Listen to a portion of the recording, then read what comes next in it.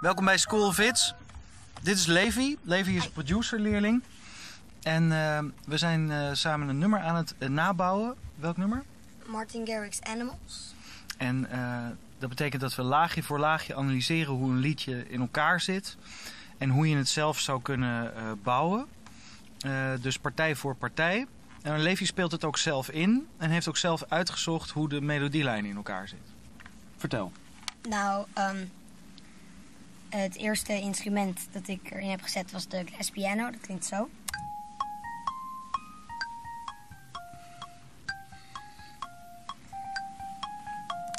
Alright. En toen heb ik de bas toegevoegd. Mhm. Klinkt zo.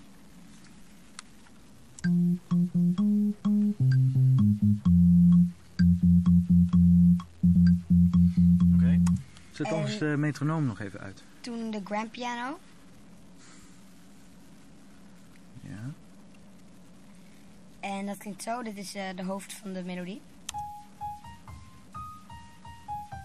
Yes. En zo klinkt het allemaal samen.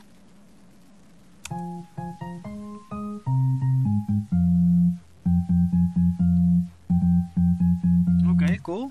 Plus beat. Beat erbij.